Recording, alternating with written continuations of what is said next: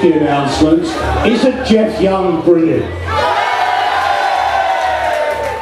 Number two, I want you to look after each other because there's a lot of people here tonight who think it's bedtime. So if you're standing beside someone who suddenly falls asleep, it's not because I'm total crap, it's because they think it must be bedtime. One other thing, you must be gentle with me because I haven't done a gig for 10 years.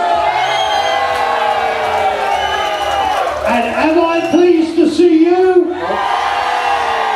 Fantastic. We're going to have 40 years of dance floor music and some of the things you'll love, some of the things you'll hate.